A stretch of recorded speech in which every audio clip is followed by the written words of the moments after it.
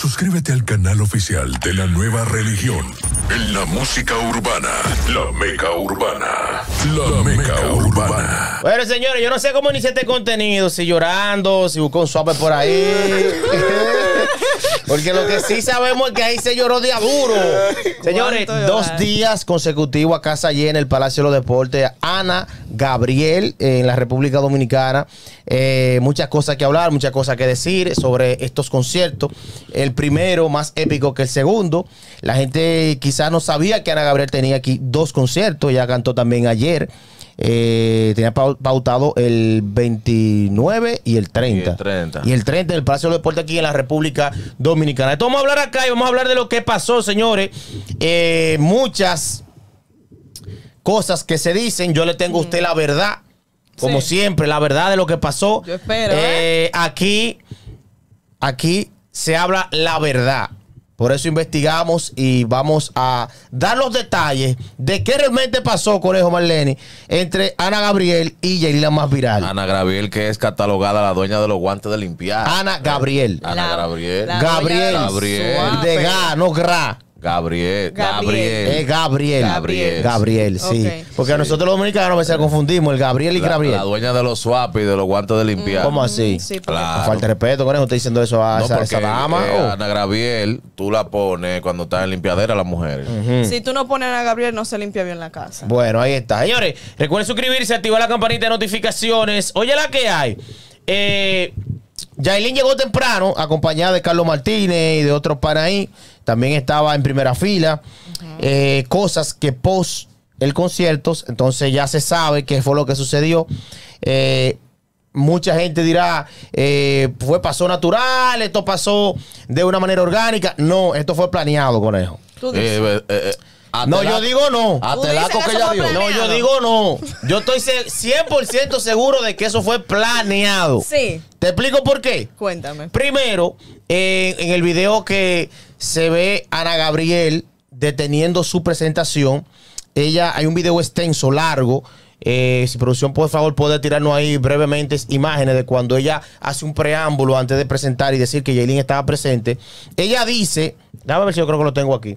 Ella dice en- cuando detiene el concierto que ella no detiene su concierto en ningún lugar, que es una falta de respeto para el público y para también los músicos. Pues sabes que los músicos tienen un tiempo, le dan un tiempo, un horario. Y esos eh, intervalos de tiempo para descansar son de un minuto, dos minutos, para que los músicos se organicen, busquen la canción que siguen, eh, eh, se orienten a lo que va a suceder luego. Para que cojan aire. De Para que cojan aire, porque no es fácil ahí dando trompetazos Sí. dos horas Sí, ahí. seguido. Cualquiera le se le sale la tripa dando No trompetazos. Claro. Eso es así. Entonces, ¿qué sucede? Si usted conoce un poco de lo que es un montaje, un evento de esta magnitud, de, esta categoría, donde vemos aquí una superestrella eh, como Ana, como ya lo dijo Conejo, no detiene ese concierto por nadie. Eh, ¿Qué sucede? Para hacer un preámbulo, recuerda que Jailin entró a un live de Ana y ella no la reconoció y la gente le preguntó después, ay, qué sé yo cuánto. Sí. Y, y luego se creó una pequeña controversia donde ella está hizo un video pidiéndole disculpas, que ella no sabía. Que luego le dijeron, mira, es fulana, le puse fulanito que ese tiempo, Sí. que estaba ahí.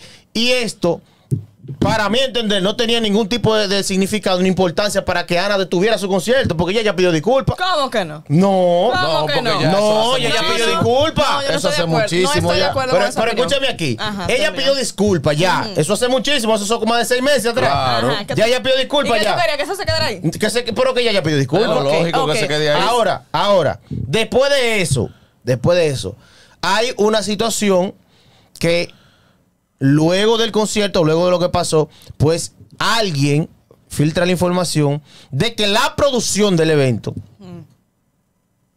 la producción del evento organizó el momento de que Yailin en medio del concierto le pasara un regalo, ¿cómo se llama? Un El- ramo de flores, Eh, no. Un ramo de flores, no. Eh, el pana de la joya, ¿cómo que se llama? Eh, Alex Diamond. Alex Diamond. ¿Qué? Con el ramo de flores, lo que la gente no vio era que iba un obsequio a Ana Gabriel. Ah. En una cajita. Ok. En diamante. Voy entendiendo entonces. En diamante. Y al lado, al lado de, de Ana, estaba una persona también muy ligada a la producción de Simon Díaz.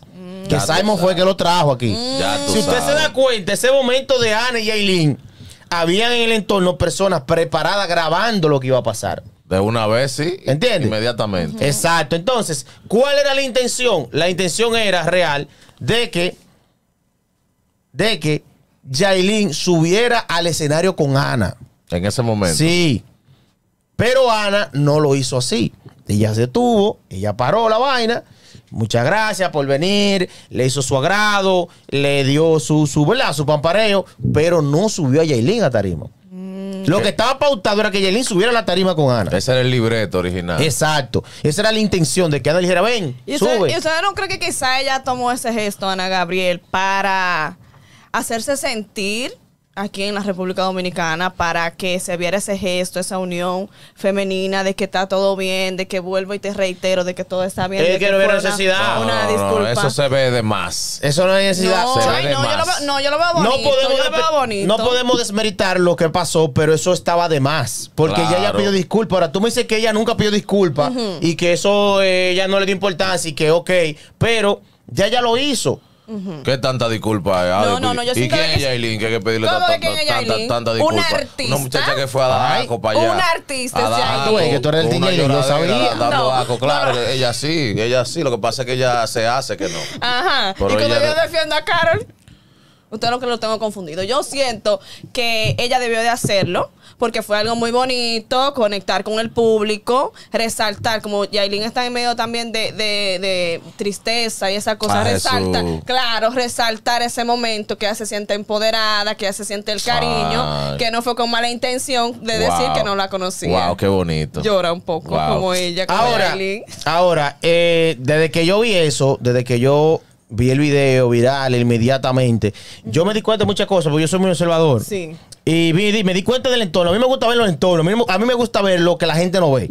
Lo que la gente ve y que, que está llorando, a mí me gusta ver lo que está alrededor, qué está pasando. Para dar a entender, para tratar un poquito de entender cómo funcionó, cómo se hizo eso. Lo primero que dije es de que usted se fija, póngame el video de producción, por favor, ahí. Cuando Yailin eh, o Ana va a presentar a Yailin, el de abajo ahí, ella detiene todo y lo habla, lo dice, lo expresa. Si usted se da cuenta, el video largo está aquí en el canal. Yo subí eso, se subió ayer, ayer temprano, se subió la presentación de Ana, que es un video de casi siete minutos, y se subió el que editó Yailin, que subió nada más el pedacito de ella. Yailin no subió cuando Ana dijo, no, yo no detengo mi concierto por nada. Eso es una falta de respeto, pero, ¿entiendes? Oh. Ella lo dijo. Yo no detengo mi concierto ni mi presentación por nada ni por nadie, porque es una falta de respeto y yo me le debo al público. Pero como me pasó esto y esto y esto, entonces ahí tú entiendes de que fue un plan. O sea que es- podemos decir que hasta las lágrimas fueron libreteadas. No, no, la lágrima no, conejo, la lágrima no. ¿Qué pasa? Pero hubo una intención. ¿Qué pasa? Hubo una intención. Además, tú te das cuenta que Ana Gabriel cuando sale a buscar a Yailin, ella no sabe dónde está Yailin. Ahora, muchacha que se ve fea llorando es. Entonces, llorando. si hubiese sido planificada, quizás ¿Quién es bonito sabe. llorando? conejo? ¿Usted es bonito llorando? Sí. Luis. Sí, porque yo no Pero pliego mira. la cara como ella. Ana Gabriel se pone a buscarla a ella entre Que exactamente, que- Ajá, que no sabía. Si hubiese sido planificado, ya supiera No, no, no, es que el plan- la planificación está de que la producción le dice, mira, eh, después de tal canción, eh, vamos a hacer esta intervención con fulana que está aquí. Que te tiene un regalo, que te tiene un obsequio. Y ahí lo montan. Sí, que lo montan. Que eh, no le dieron, no le dieron mención a nadie ahí. Eso se supo después fue que fue una vaina, un, un regalo, una prenda que le regaló Yailin, un ramo de flores. Pero a cambio de esto, eh, el obsequio que le dejó a Ana fue una toallita que decía Ana Gabriel. Ponga la toallita y producción usted pueda. Míralo como ella lo subió. Lo que hace Pero eso es importante, se tiene un valor. Ella lo subió en su cuenta de Instagram, Yailin, eh, la- una toalla. No es el obsequio, la un intención. obsequio, gracias por. Eh, ¿Qué es lo que dice ahí? Lo que dice aquí, yo no lo. Ok. Eh, Qué bella. gracias por este bello obsequio que me diste. Una toalla con el sudor de Ana. Wow. Qué reliquia. No, no, pero está, o sea, está bien. O sea, compara- comparativamente está bien. Ahora, mucha gente dirá, eh, yo sabía, porque van a decir los comentarios, yo sabía que algo era raro. Eso es Yailin que necesitaba sonido. Anuel la está pagando. Qué sé yo cuánto, quedó en el olvido. Señores, sonido o no, ella siempre ha dicho de que ha sido fanática de Ana. Sí, pero yo, yo eso lo veo como, como una conspiración porque ella sabe el sonido que Anuel está teniendo en el fin de semana, que está prendido, la verdad que decirla. Y ella de alguna manera u otra quería Sí, que la confirmó, no tenemos contenido. eh, Entonces Yo no sé no- cuándo que lo ustedes, ¿qué ustedes querían? Que ella no fuera donde anda. Que ella no tiene que dar tanto asco a esa muchacha, Y de que para un concierto, dando asco. No, Ay, que no, pero su que artista. famosa, claro. Pero- Todo el mundo tiene un artista por el cual da asco. ¿Por quién tú darías asco? El artista favorito mío es Arcángel La Maravilla y yo no haría eso. Ah, pues usted no, es fanático usted no es nada de Arcángel. Usted no es fanático. Eso. Usted no es fanático. Yo Usted no es haría mujer eso. tampoco. Usted no es fanático. Yo no haría eso. Ella quería verle cumplir su sueño, dio su lloradita, se sintió Ahora, yo bien, te he visto dando y tipo de artista. Dando, eh, eh, Eh, bebiendo, bebiendo Brugal para dar de esa forma. ¿Y cómo tú sabes que era Eso- Brugal que estaba eso Ese romo estaba muy oscuro. Eso era un juguito de manzana, papá. Juguito de manzana, estaba dando asco y una lloradera y una vaina de que para que, para que las redes le, No, pero a ti le- te le molesta todo, No es que me molesta todo. es que se ve demasiado ya Es que, buscadera de no, sonido nivel es Dios. Que, es que Ana Gabriel es una artista que sus canciones tocan muy profundo. Entonces, en, a Yailin está pasando por un proceso sentimental. Wow. Se acuerda de su macho. Wow. Déjame beber mi trago y llora, mi amor. ¿Y por qué ella no se acuerda en otro momento y lo hace y, ¿En y cuál? llora? ¿En cuál? ¿Y por, por- por qué ella no pone la música de ella en su casa y, No, hace lo mismo? si es de No, verdad que tiene un sentimiento no, por ve, dentro. pero tú no estás con ella en su casa. No es que yo no estoy Tú con no ella. El problema llora. es que esa mujer Ella quiere, fue a disfrutar quiere de su aprovechar todo para buscar sonido. No, Y ya no- le vamos a mandar antirruido Ella para no allá. necesitaba ese sonido con Ana Le Gabriel. vamos a mandar anti- antirruido para su casa No, porque ya está no, demasiado ve. sonidita. Bueno, de manera final, eh, usted podrá sacar sus conclusiones, usted en los comentarios, de qué usted entiende de esta información, en lo que obviamente sale a luz después de esta presentación de Ana Gabriel y esta dramatización de pedirle perdón. Parece una novela. No, porque es que no, conejo, es que es una dramatización. Eso se, tuvo- se debió planificar. ¿Cómo Ana Gabriel sabía que ella estaba ahí? Si no se lo dijeron. ¿Cómo Ana Gabriel fue directa? oh, estaba perdida, se vio en el video y fue, ah, mira aquí donde está. Pero y fue y se acercó y le pidió Luis. perdón. ¿Por O qué sea, ella tiene que pedir perdón a Pero Luis, Yailin? es lo que te digo, por ejemplo, si hubiese sido planificado, ella tiene que, o sea, sus ensayos y su cosa, su libreto, su guion, ella sabe lo que tiene que pasar en el concierto, Ana Gabriel. No, pero que es, no es que no es que no, es que no tiene que no sabe. Es que no es que tú tienes que saber lo que va a pasar. Es que dentro del, del día a ti te dicen, mira, yo, yo lo sé porque así es que se organiza. Mira, después de tal canción toca pausa. Hay un libreto ahí. Y los artistas tienen un telepron con la letra de sus canciones. Y muchas veces después de- entre canciones dicen pausa de tres minutos, pausa de dos minutos. Eh, hay que, por ejemplo, dice, hay que abundar, o, eh, coro con los fanáticos, coro con la gente. Eh, interacción con los fanáticos. Sí. Entonces tú te pones a interactuar, tú como artista te pones a interactuar con los fanáticos porque ese tiempo se utiliza para que el músico tome agua, descanse dos minutos, arranque. Entiendo. ¿Me entiendes? Te ponen un cronómetro ahí de la pausa que tú tienes, del tiempo que tú tienes para arrancar, para iniciar. Se ha organizado. Y ella lo dijo en el video. El video donde dice, eh, déjame ver si lo tengo aquí, yo lo tengo aquí. Ahora, Yailin es tan sonidita, tan sonidita, que tuvo que coger ese intercambio fiado, eh, un intercambio, para regalárselo a ella. Para tener que durar tres meses haciendo publicaciones. Déjame, déjame a ver, yo creo que está aquí, déjame ver que está aquí, ve el video. Vamos a ponerlo aquí brevemente, para que usted escuche lo que dice Ana. A Ella, cuando ella está hablando aquí. A ver. Después esa canción, que hace coro, eso es pausa, todo ahí. La gente. Ya que ella habla aquí, ya viene hablando aquí. Déjame ver aquí, ya se prepara, a ver, toma agua.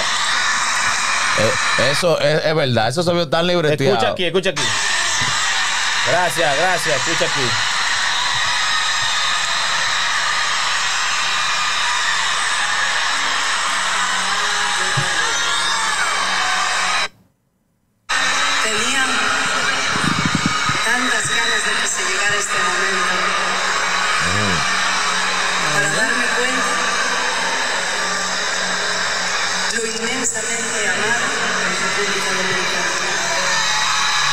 Ahí es que ella dice que se siente dominicana. Lo sabía, Lo sabía, que era dominicana. lo comprobé por segunda vez. Segunda vez que ella viene del país. Estamos de manteles largos. Yo los dejo cantar porque de esta manera ustedes también de alguna manera experimentan el sentir que tenemos los que nos, los que nos paramos en un escenario. Eh. Entregarles. Gente loca, conejo, loca. Sí, sí. Déjame ver aquí. Mucha euforia. Normal, porque las canciones de Ana Gabriel son muy profundas. Muy pocas veces, pero eso sale porque estamos en vivo. Escucha aquí, escucha aquí, escucha aquí. Sucede, Escucha aquí lo que ella dice. Ahí. Comenta, sucedió con los audífonos. Sucede muy pocas veces, pero eso sale porque estamos en vivo.